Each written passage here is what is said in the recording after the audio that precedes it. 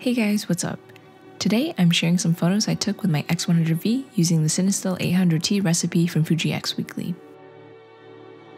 Aaron and I went back to downtown Walnut Creek to walk around and take some photos. This was actually my first time going out with the intention to shoot nighttime photos, and I'm really happy with the way that they came out. I haven't been to downtown Walnut Creek at night since I was in high school, so it was really cool to see how much it's changed since then.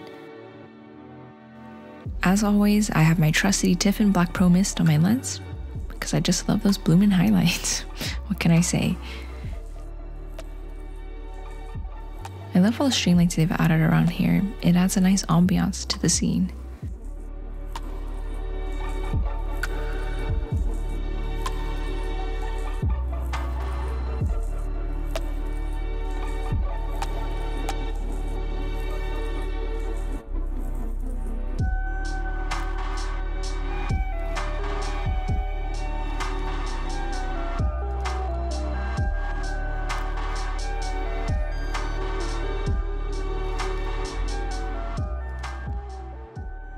Shout out to this person for suggesting that I try out Cinestill 800T this week.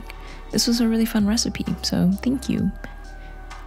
And if you want to see me try out a specific recipe, please let me know. I'd love to hear your suggestions. I try my best to put out a new Sony or Fujifilm related video every single week, and if that sounds interesting to you, you should totally consider subscribing. I'd really appreciate it.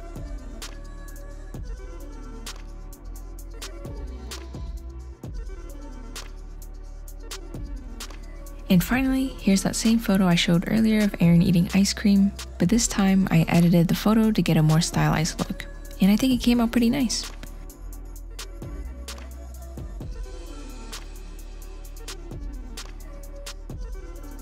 Thanks for watching guys, I'll see you next week.